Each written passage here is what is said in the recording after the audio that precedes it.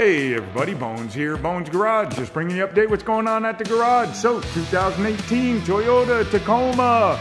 We have her almost all done, but we are still waiting on those front struts. They are lost somewhere out in cyberland, cyberspace, shipping container, something. Somewhere those struts are, but they are not here.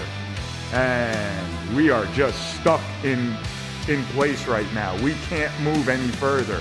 And it really is a terrible thing because it's backing up even more work. Yay, this is, I just, I love shipping. So anyhow, we ended up getting new lower control arms because the old control arms, they were on such a bad angle that it's partially due to age, but also due to they were such a bad angle that the ball joint was really, really loose. Like this, if you push it back and forth, you actually have to push it back and forth to make it move. Even though it's grease, you still have to move it.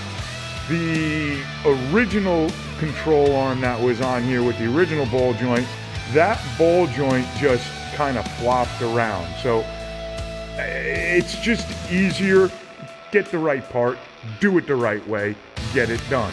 Um, we were going to originally just change out the ball joint, but by the time we got it out, by the time we bought the ball joint, put everything back together, it was going to be close to the same cost as just buying a whole new control arm. So, buy a whole new control arm.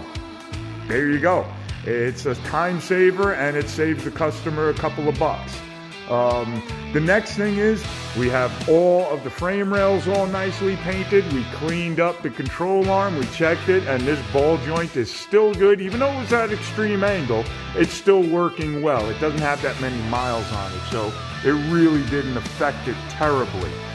That one, like I said, it had some miles on it. It also had an extreme angle on it, so it took its toll on it. Um, we have the steering knuckle all set up and ready to go in. We have the backing plate on. We have the hub all in place. Everything's been properly torqued down to the right torque spec.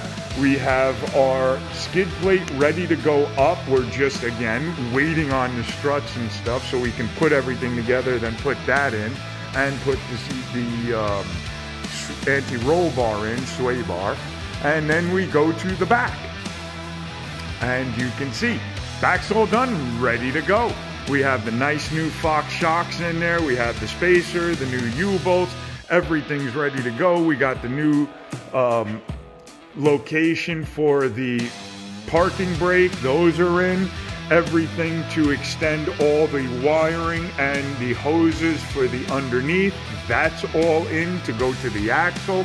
Everything's in over there. So we also cleaned up the whole frame on this side, made it look really nice because the customer who owns this, he spent a lot of money just buying the truck and then doing all of these upgrades to it. You know, it, it's not cheap, it's expensive. So let's make it look as nice as we possibly can. The next thing we're going to be doing is we're going to fix his back bumper. As you can see, it sits like this. It faces down. It should be nice and level. So we're going to take the back bumper and we're going to loosen it up, reposition it, and put it back together. And especially that it's sitting here hitting the rear fender. Well, that's not good. So we're going to fix that for him. Whoever put it on, the last company that put it on, really didn't do a good job of it. I mean, look at how much of an angle it's coming down next to the light. It, it really, it, that kind of pisses me off. It also hits the fender right there. So we're gonna fix all of that up, get that all nice. And you can see this side's all done. It's also ready to go. We have the new tires we're gonna be putting on. We just gotta get them over to our tire shop to have them remove those rims, put those tires on those rims, and then we'll take those tires off. And then we should be able to hopefully by then have the front struts so we can get it over to the alignment shop and get it aligned and then get it back to the customer because he's dying to get his truck back. can you blame him? It is a beautiful truck. It's a really nice truck. I really like these trucks. So there you go. Oh, and the next thing we're going to be doing is once we get all this together, we're going to be reprogramming his radar for his cruise control and also for his lane assist because the company who did the lift kit never reprogrammed it and it was pissing him off royally that he couldn't use his cruise control when he drives all the way down into the city every day, which is an hour and a half ride. So he was really, really upset about that not working. So we're gonna go ahead, we're gonna plug in, we're gonna reprogram it, set all the parameters up, and make sure that it works. I hate getting a vehicle that has things that are working and then when it leaves my shop, I do not want to hear from the customer saying, hey, that was working and now it's not. So, especially when we worked on that area or worked on the truck and we're the cause of that radar not working. So, there you go, guys. We stand behind all our work. Everything we do, we stand behind.